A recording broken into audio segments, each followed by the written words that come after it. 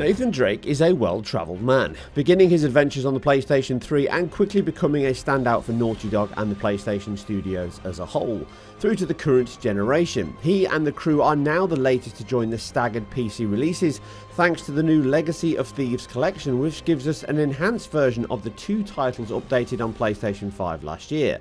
The question is, have they stood the test of time? With many of Sony Studios beavering away on titles, having a separate team port your existing games to PC has become a key asset and strategy of Sony's. This time their own internal studio in Nixxes is busy on the recently released Spider-Man remastered on PC ports, plus more later this year. And so the honours fall upon Iron Galaxy, who have also made a name for themselves as a proficient porting studio from PC to console and back again. The task here was to take the roots of the older Naughty Dog engine used on the PS5 remasters and port them over to PC running under the DirectX 12 API. The task here would have been challenging due to the varied nature of the PC platform being the polar opposite to the bespoke nature of the engine designed for PlayStation. One big hurdle for developers in the PC space with DirectX 12 is that of shaders, and more specifically shader compilation. You see with consoles and even fixed hardware such as the Steam Deck, these chunky GPU code routines are required on a platform by platform basis. Now dependent on your generation, make and model of GPU, you will require all or some bespoke shaders to be compiled. These may be as simple as drawing the UI for 3D objects when you click the stick, to rendering in an explosion with GPU particles and more. As such, the team have taken an async approach, just as we saw with Horizon Zero Dawn and Spider-Man. Essentially, they create these across one or more CPU threads as soon as you load into the game and during play. The aim here is to create all the required GPU shaders for every possible area of the title, store them in a local cache on your hard drive, and call them as and when needed. Due to the cost this has though, you will need a fast CPU to enable the game to play without too much hitching as these are built, which you can easily check in the game menu. Once done, you should have a mostly smooth experience unless you update your GPU driver where all this will need to be done again. Now I did note a few stutters from time to time into the 100 millisecond range. Now these may be shader related, but they can also be just general data or other areas of context switching. I applaud the way the team have done this though as it maximizes the hardware whilst enabling you to dive straight into the game or wait until they are built all in all resolving or significantly mitigating the specific PC issues, so praise where praise is due.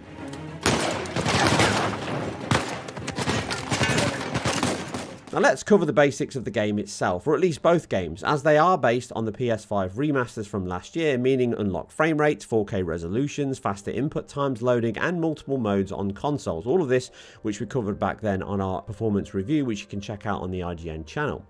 On PC, this means a selection of graphical options higher than 4K and modern reconstruction technologies to best suit your current specification in AMD's FSR 2.0 and NVIDIA's DLSS 2.0, all fully supported and accompany the game's own TAA solution. In addition, you get an ultra-wide 32x9 or 21x9 aspect ratio for those that want that full Sam Peckinpah vistas to enjoy.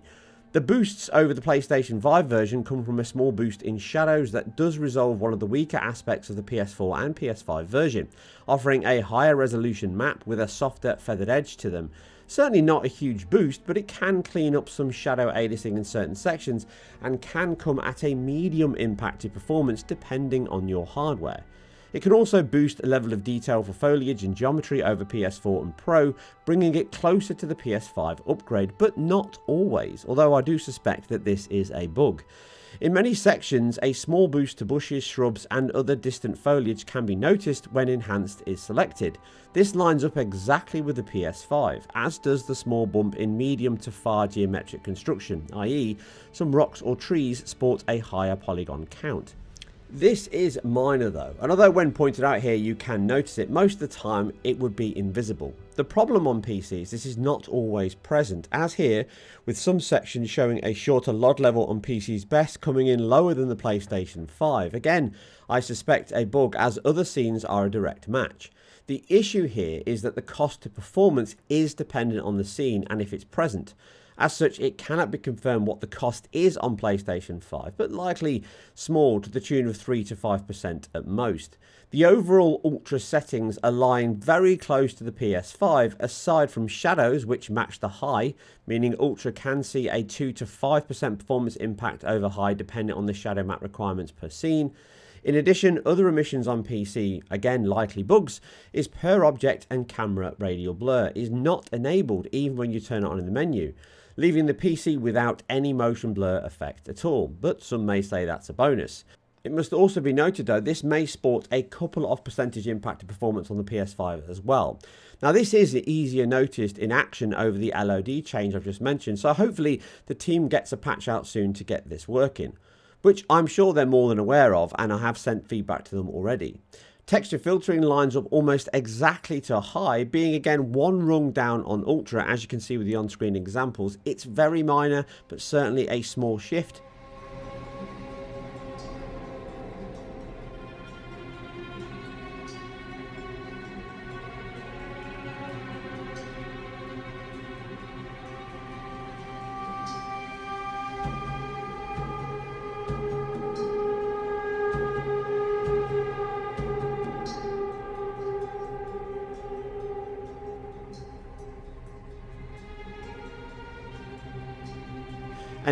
ambient occlusion is closest to ultra with again high really not standing out as a huge difference if any at all. I cannot see anything meaningful in terms of visual quality and less than 1% difference in performance. The same is for reflections with low turning off SSR completely and offering the biggest boost of around 8% going from off to ultra. High looks almost exactly the same but again I noted no significant performance differences between the two. Just like AO, once you get to medium they're pretty much the same from high to ultra. This is the Naughty Dog engine and therefore it does allow materials to have screen space reflections on or off depending on the area in question and a lot of them still use cube maps only even on the ultra settings on PC. This leaves textures which unsurprisingly match Ultra, which are the same as high really, except you get higher MIPS often across the scene due to the higher VRAM of the PS5. Be aware that on an 8 gig card such as my 2070 here you can run over the limit but generally the textures, the ambient occlusion, reflection and LOD quality match the PS5 when set to ultra with those shadows and filtering being one rung lower on PS5 with the noted disparity of the LOD and motion blur likely coming in a patch soon.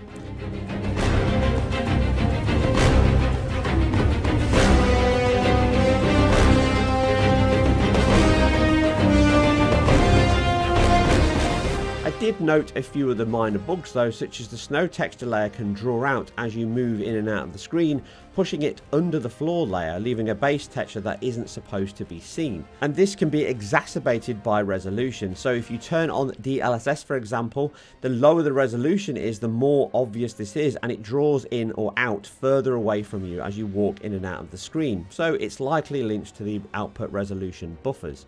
Again though, we're probably going to see patches on this title at launch or just after.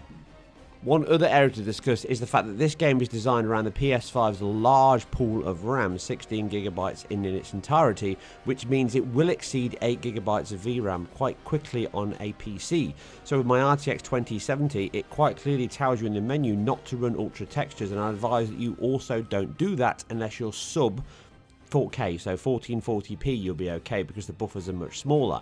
If you do, you'll effectively be page swapping with your system RAM and that will negatively affect performance. You can also then bleed out of your VRAM and you can impact performance sometimes by around 50%. Restarting the title will fix this, so just be aware not to break over that 8GB limit because it will severely impact performance. So now with the settings out of the way and the comparisons, we can look at the performance on a couple of PC specs and how it compares against the PlayStation 5. And when it comes to performance, the PC can break free of that 120 FPS maximum of the PlayStation 5, again, all dependent on the hardware you have. And to ensure I do not overstate the console levels, even after my test shown in the video here, for performance, I have set everything to high, including that LOD setting, which gives the PC a potential performance gain of around 2 to 13% as tested, with the caveat that the motion blur and LOD differences on PS5 round out the shadow boost we're seeing if we ran these at Ultra. Now of note is when I'm running Ultra, I'm only doing that on the RX 6800 specifically against comparisons to the PS5. Most of the time on the RTX 2070, I'll be running the exact same settings as PS5 as I can get, which is predominantly the high settings. With this noted, the PS5 has three modes. All of them tracked the exact same settings other than fixed resolutions. Fidelity is a native 3840 by 2160, Performance offers 2560 by 1440, and that Performance Plus, which targets 120 FPS, is a fixed 1080p. If you do have a VRR screen though, you can unlock both fidelity and performance to go to 60 or 120 FPS respectively as a maximum and these are the modes I will be using to compare to the PC. Now taking my long serving RTX 2070 here with an overclock to 2GHz, we start with the native 4K mode. From the start we can see that the PC is some 37% behind the PlayStation 5 in these real-time cinematics. These fluctuate over the section meaning the PS5 can be between 9 to 15 FPS higher frame rate than the RTX 2070. Now due to the low CPU demands and the high GPU ones, we are nowhere near CPU limits here, meaning that at these high settings at 4K, we are 100% GPU bound on both. Covering a wide open drive and then the action packed section, the RTX 2070 comes in with an average FPS of 35.2 versus an average of 47.5 on the PlayStation 5, seeing a 34% average gain to the PS5.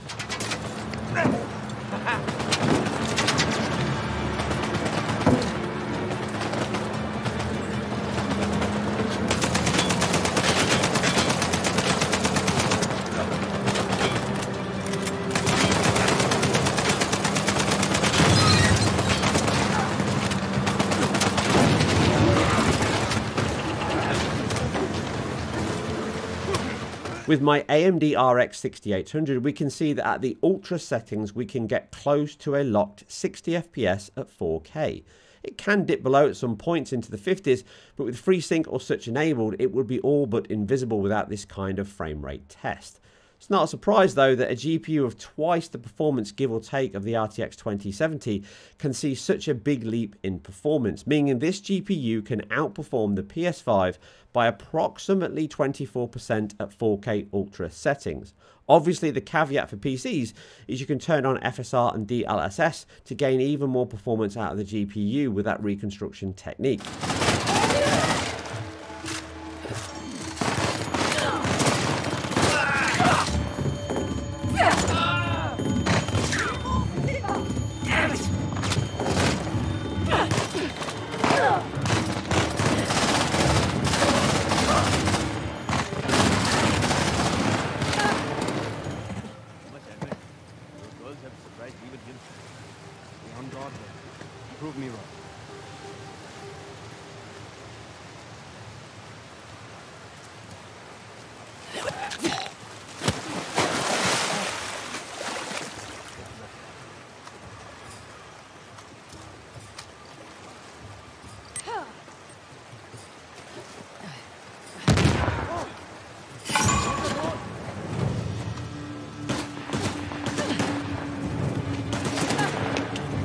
Moving into the 1440p mode, which again matches that performance mode on PS5, we don't change any of the settings, but the resolution now drops by 55% over that 4K fidelity mode, meaning we edge closer to being CPU rather than GPU bound.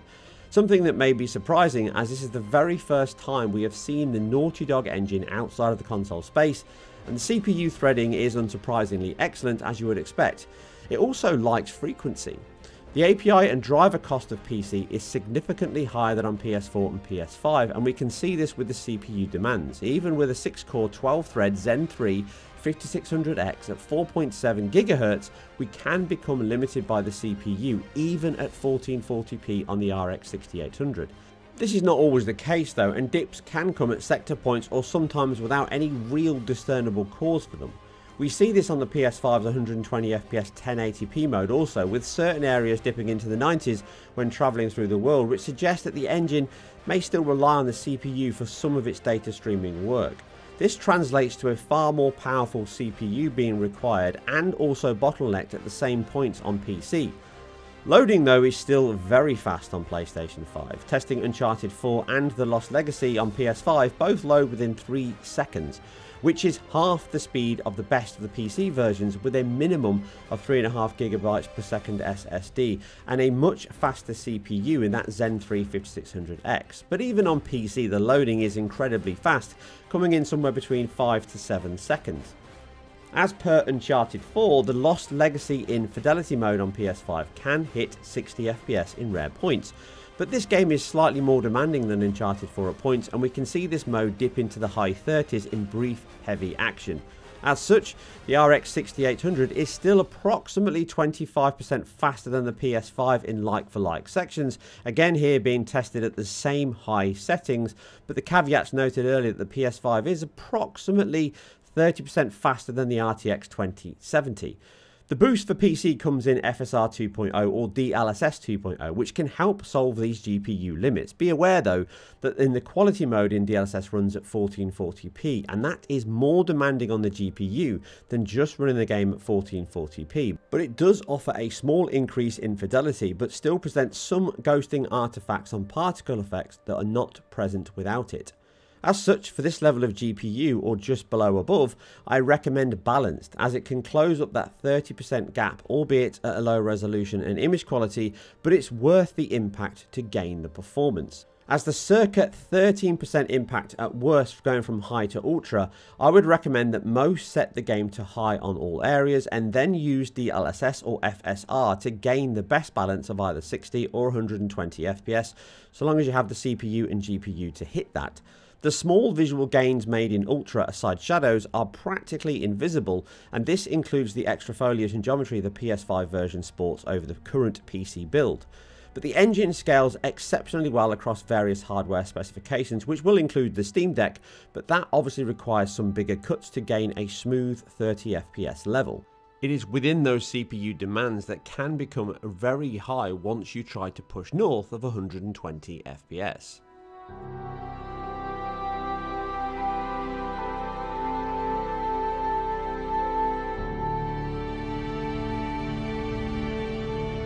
The Uncharted titles have been a diamond for the PlayStation platform and nothing has dulled that shine on PC. The port here is an accomplished one, although a little lacking in terms of the tweaking options we expect on PC, they still offer enough choice to personalise the game to your needs and hardware. The boost to frame rates, resolution and shadows can vary in how much they matter, but the choice is good, as is the ultra-wide display options being right there in the menu, full FSR and DLSS 2 support helping you gain more from your GPU, and even integration of that DualSense the PS5 brought in with haptic feedback but they are predominantly the same as last year's PS5 release, with most not being able to pick out any differences even in side by sides, and in most regards, they're both not a huge leap over the 6 and 5 year old titles respectively on the PS4 Pro versions. The CPU demands to get and exceed 120 FPS may be higher than you expect, and even with a very high level CPU and GPU, a locked 120 FPS, even at 1080p, was not always possible, at least with the current build. That said, you can run the game at 160 plus FPS and even at 8K if you sport the required hardware. Some bugs do remain that are minor, but hopefully Iron Galaxy has patches due soon that will resolve the ones I've noted here and to the team during my review. Both games are still flamboyant, action-packed graphical showcases for your hardware, and even on top-end PC, they shine and impress as you swing in for the takedown or just get your bell rung one more time.